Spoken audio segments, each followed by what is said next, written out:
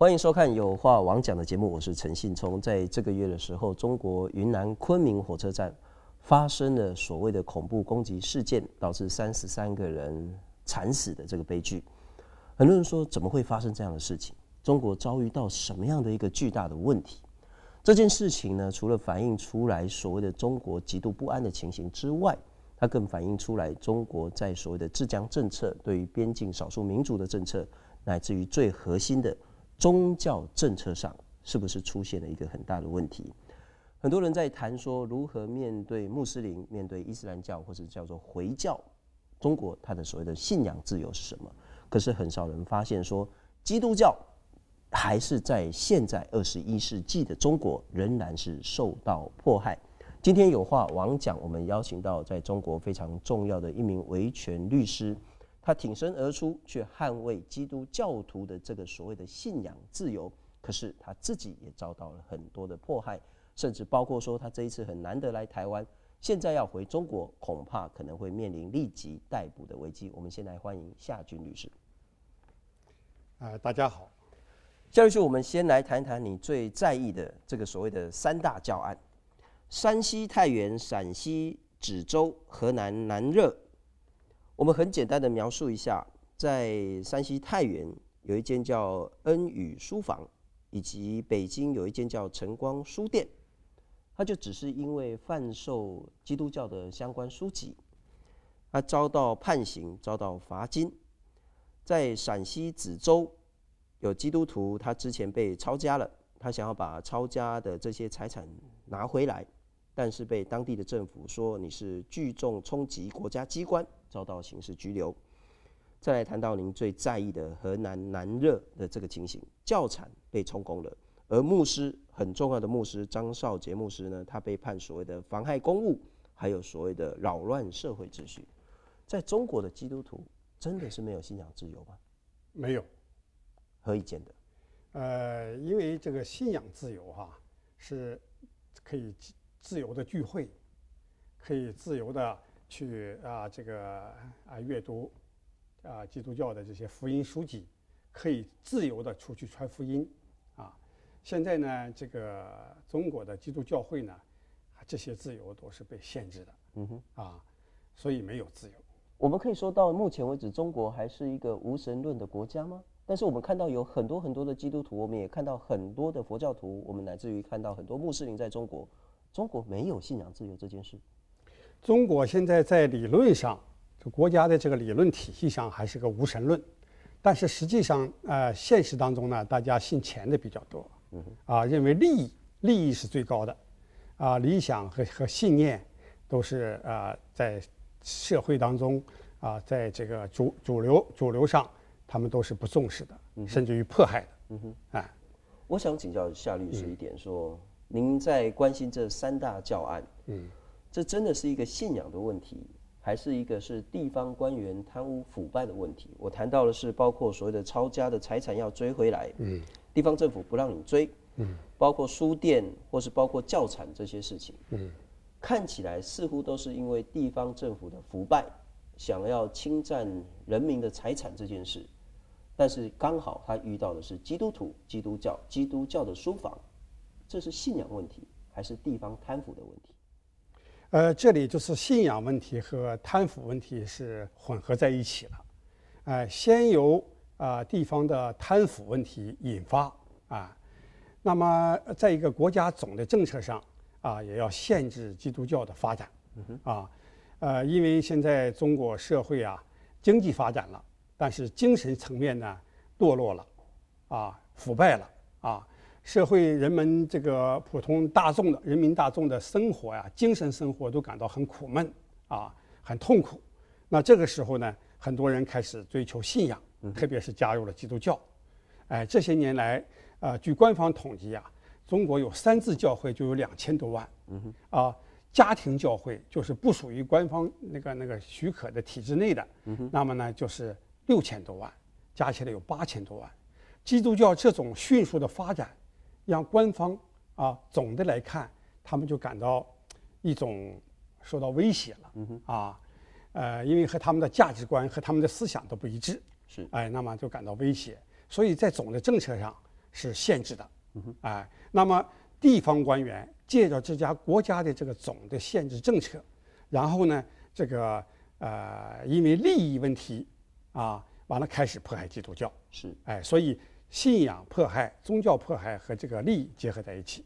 可不可以请穆律师您多谈更细致一点？因为我们从一些资料只看到所谓的三大教案，可是我们看不到说这中间真正让您无法忍受、必须挺身而出，走向一个维权律师这么辛苦的一条路。嗯，那个压迫、那个不公、那个不义、那个让你无法忍受的东西到底是什么？嗯，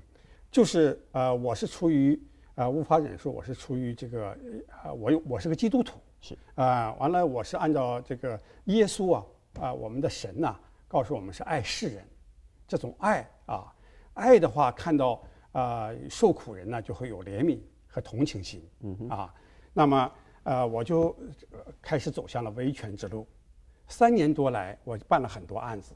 特别是刚才你说那个三大教案，嗯哼，那么这都是在中国啊比较大的迫害案啊，而且是很荒唐的迫害案。啊，那么这些被迫害的人一点都没违法，啊，却受到了牢狱之灾，啊，那我作为一个基督徒呢，我的内心呢，这种爱和怜悯呢，让我不能无动于衷。您可不可以跟我们谈谈实际的情形？究竟是什么样的人受到什么样的迫害？啊，实际的情形，那么首先我接触的就是山西太原的任拉成案，啊，我是他的代理律师，他一审被判了五年。就因为卖那个叫赞美诗歌啊，没有印刷出版号的赞美诗歌，啊，还有这个啊十二先知的福音书，这个福音书呢是造假的，但是造假是出版社造假。OK，哎，广州的一家出版社造假，然后他卖给了北京出版社，北京出版社呢又又又又和这个恩语书店太原呢联就是合营嘛，合作经营，然后又进到太原里，任拉成只是借钱给办。安义书店这么一个基督徒，是个借钱给他的人，结果就把他判了五年，啊，他根本不知道这个书是造假的，啊，按照法律规定呢，啊，因为买书的人进书店，他不可能去核对真假，不罚。啊，不罚，他是个无辜的人，是，哎，可是很离奇的是，啊，太原市公安局小店分局。您说的那个造假的十二福音的那一本书，是中间牵涉到去批判污蔑了中国或是中共的政权，乃至于颠覆国家，乃至于有所谓的政治企图吗？没有啊。所以，的造假的部分是什么？呃，它是造假是这样，就是说，呃，香港委托广州出版社出版这个书，出版书呢申请批书号嘛，啊，是申请号可能是广州出版社就答应了人家，哎，说可以，那么呢，一答应了以后就很多。啊，潜规则在作业，啊，后来他没批下来以后，他就没办法去向香港交代，这家出版社就把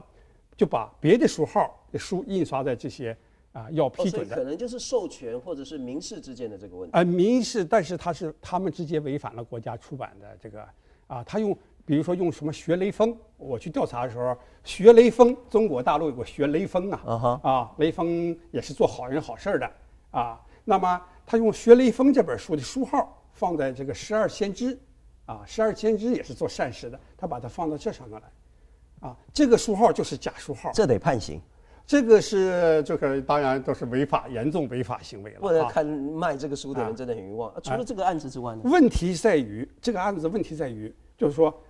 造假的人啊没有承担任何刑事责任，卖书的人不知情的人却判了五年。而且判五年的这个人又不是自己亲自买书的人，是。啊，那为什么这么判呢？就因为这个任拉成啊和李文喜啊合作以后，任拉成是一个在山西太原大学生里传福音的。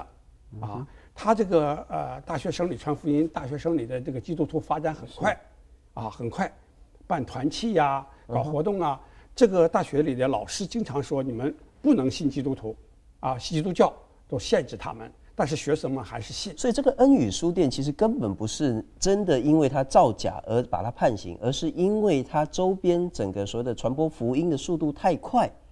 而这中间牵涉到说中共不管是在中央或是地方，它所能容忍的这个界限已经超过了，你的基督教信仰拓展的太快，进展的太顺利，嗯，这是我无法容忍，所以只是拿个借口，我拿这个来打压你，不要让你成长这么快，哎，是的，那只是一个借口而已嘛。啊，借口，对，这是借口。除了这件事，除了借口以外，还有利益关系啊。那么就是把书店的书，公安局和执法大队给没收以后，是完了这些书呢，在二审还没有判决的时候，是这些书已经流入了书摊儿，就是那个呃地摊的市场啊。我都到过地摊市场调查过。这个在台湾听来是很荒谬的事。，你你公安局或者是执法大队啊，你你执执法的书籍没收了，既然他们认为对社会构成危害了，是那你为什么还要自己再卖掉呢？再谈谈你啊更关心的一个叫河南南乐教案这件事情，嗯教产被充公没收，牧师被判刑，这中间的问题是出在哪？啊，这个案子呢，呃，也是属于先是利益之争，啊，利益之争就是说这个呃，这个这个教会南乐教会呢和这个呃梓州的和这个太原的又不同，那两家是家庭教会，啊，是政府没在体制内注册的，啊，登记的。这个家呢，教会的教堂是在登记的，啊，那个会长呢又是啊政协委员张少杰啊。那么这个问题的起因在哪里呢？呃，张少杰这个牧师啊，啊、是一个非常有公义，用我们基督教讲话是行神的果，神的义的啊，他是非常忠于自己的信仰。嗯，当基督徒受到迫害的时候，受到侵权迫害的时候，他不是说啊忍耐袖手旁观，打左脸给右脸啊啊，像很多牧师那样啊，那打左脸给右脸，忍耐啊，那么就是不管啊，就是祷告向上帝祷告，他就完了。啊。他呢是亲自亲力亲为，他办了很多这个维权的案子，是。其中有六件最大的，我今天给你讲两件，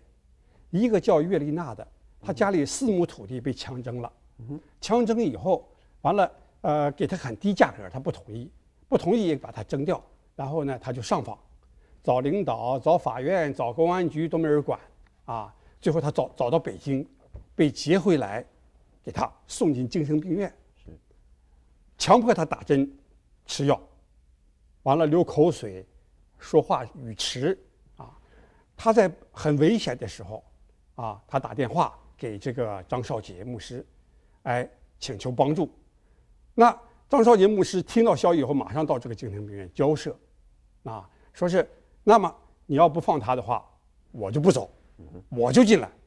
他毕竟还是政协委员，而且在当地很有声望，基督徒都很，因为他很公益啊，大家都很啊尊敬他。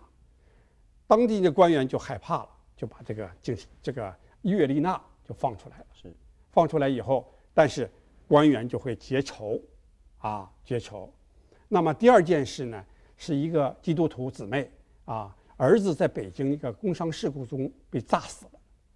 爆炸死亡了。他独生子啊，这个母亲听了以后五雷轰顶啊，马上到现场要见儿子死尸，啊，结果没让见，啊，也不接待他，没人接待他，啊，他无助的时候打电话给张少杰，啊，说是那个张牧师帮帮我。张牧师听了以后，又马上到了北京，啊，和这个工厂交涉，看到了他儿子，然后又得到了一一一个很好的这个赔偿，在他那死的那，据说呀、十几个人当中，他赔偿是最高的，啊，张少杰他很他是很有也很很有智慧啊，那么他就得到了一个赔偿，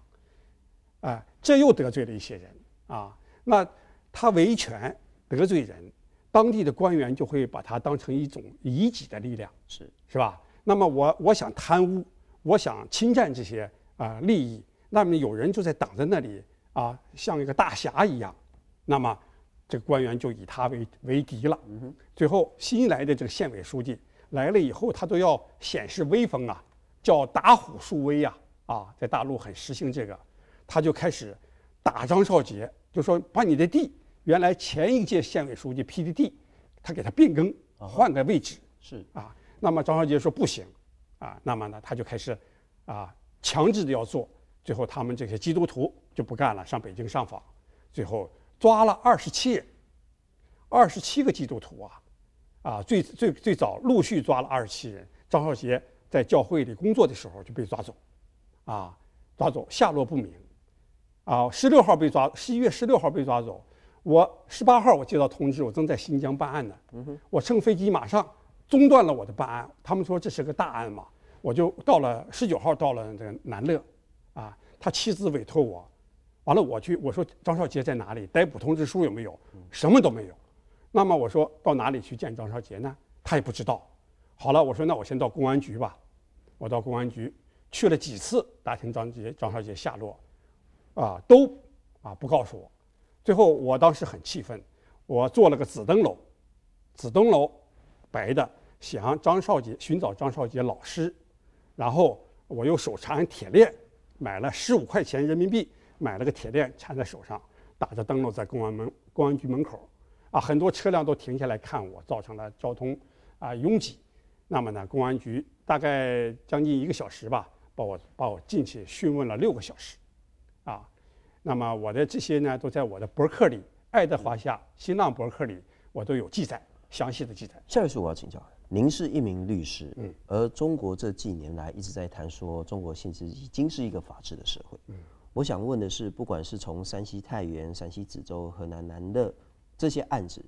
不管您谈到说所谓的《十二先知》《十二福音》这一本书。可能只是因为所谓的审批的这个编号不一定能够完全取得授权这件事情而被判刑五年，以及您看到张少杰牧师，我想问的是，你作为一个牧师，你透过司法，难道不可以还给这些不管是卖书的人、张牧师他们一个司法的公道吗？不可以，因为没有公道，我才走上了维权道路啊，我才采用了打灯笼、手缠铁链的。这个这个这个艺术行为艺术，为什么呢？当时公安局询问我的时候，你为什么手谈铁链？我说它象象征着我的律师的权利被你们剥夺了。为什么我们律师，包括后来的律师团要会见当事人，都受到了层层阻碍呢？到了看守所，你要请示上级，啊，我们依法进行来来来看当事人，为什么还要请示上级呢？啊，请示上级就是人质。依法办事叫法治，啊，在中国大陆还没有做到法治。您谈的是所谓的诉讼期间，可是审判最后的审判还是是因人而治吗？当然，审判的结果。当然，最后审判那个任拉成啊，卖卖书恩宇书店卖书的那个被判刑五年那个，二审连出庭都没出庭，开庭都没有。而且法官我们在私下交换意见的时候，他们也认为这个案子有很大问题。是我给他提了十个问题。啊，结果他们呢，大部分都认可，啊，那么他也他也就就这么判，就是说他想判就判，大部分认同您的观点，对，私下里私下里这样子。其实我也理解这个法官呐，他也是无奈的，啊，都要听上级指示，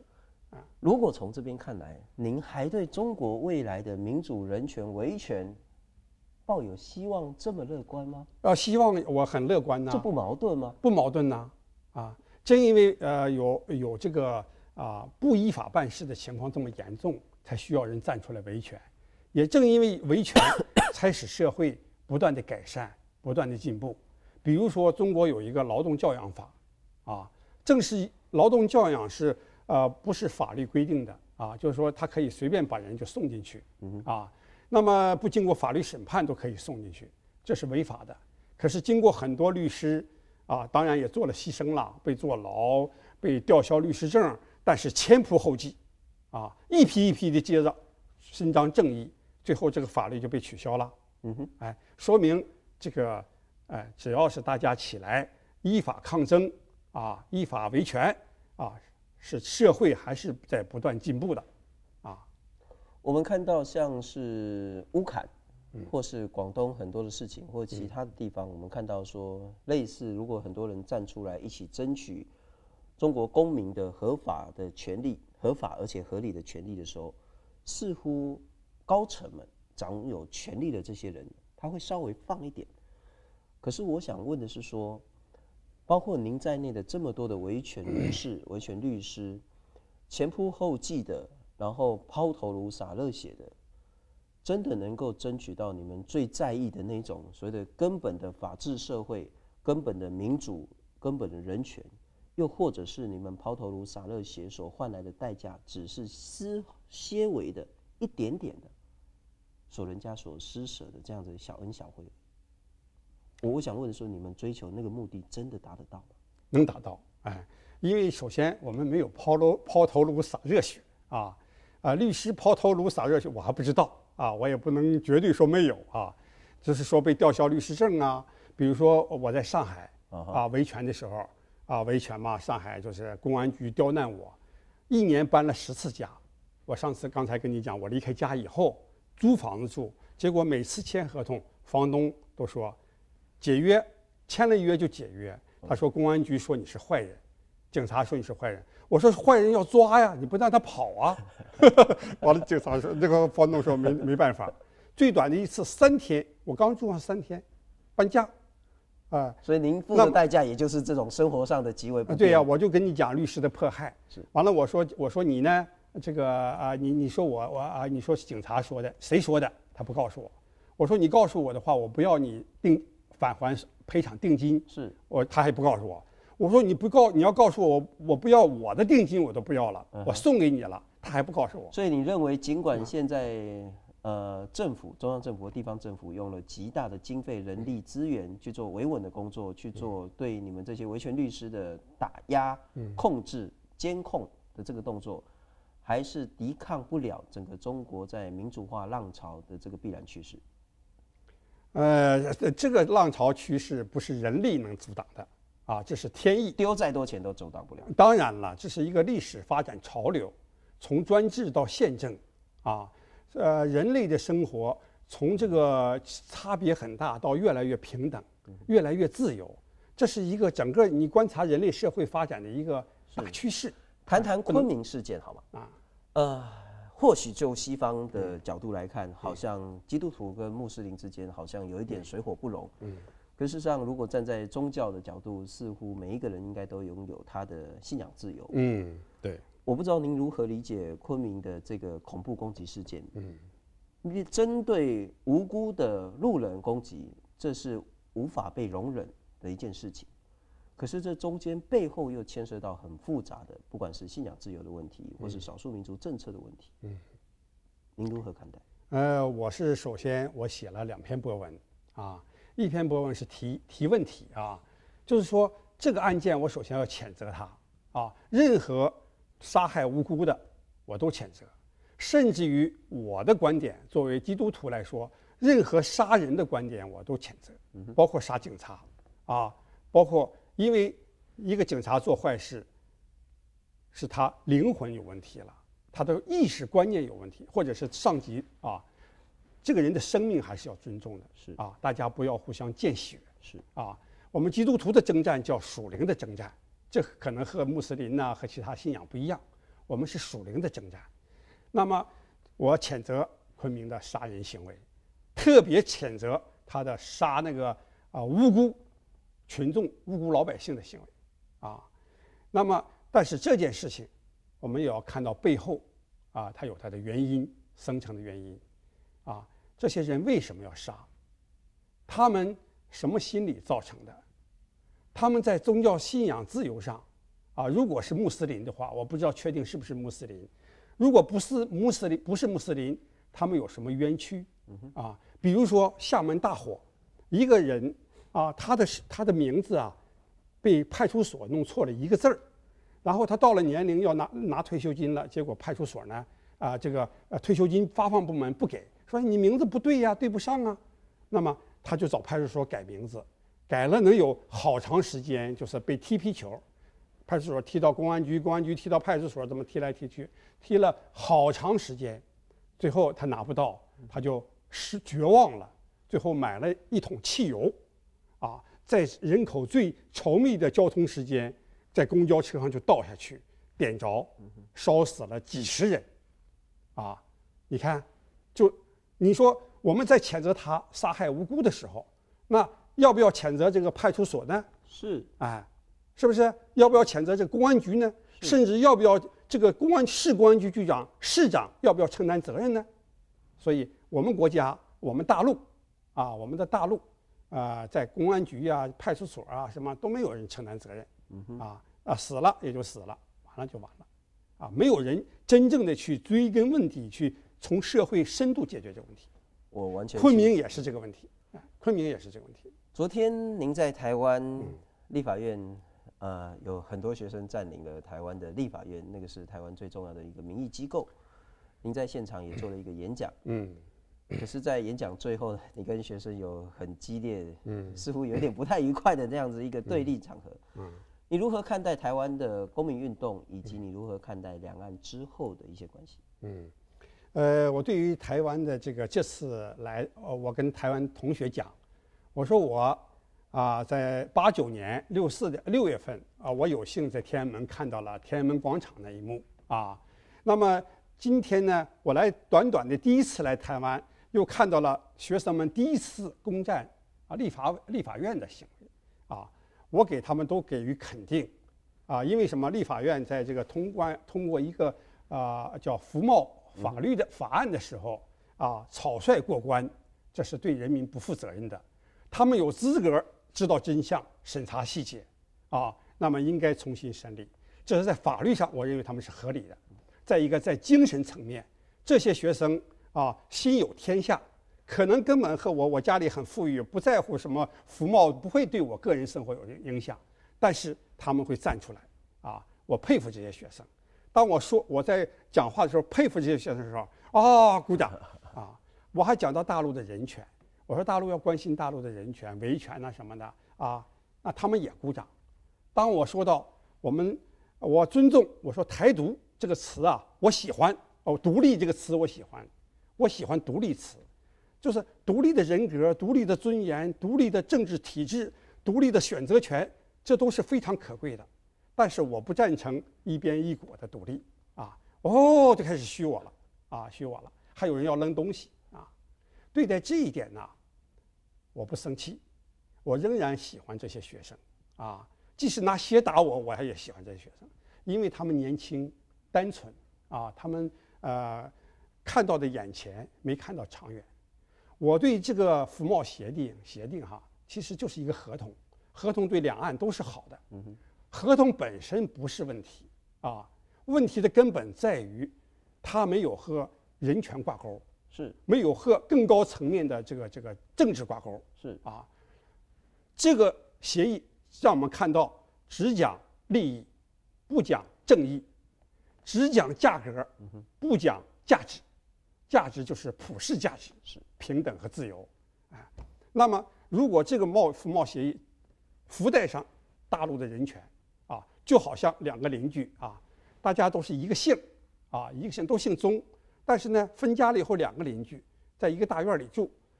你呢这个打老婆骂孩子，你家啊，那我。不能去跟你喝酒，更不能跟你谈生意。是，你要首先不能打打孩子、骂老婆，那我才跟你做生意。是是，这就是非常好。非常谢谢夏律师今天接受公共电视有话王讲的这个节目的邀请，我们非常荣幸能够访问到您。我们也非常希望，不管是中国，或者是中华民国，或者是台湾，未来两岸的人权民主能够一起携手更好的世界。谢谢，谢谢大家。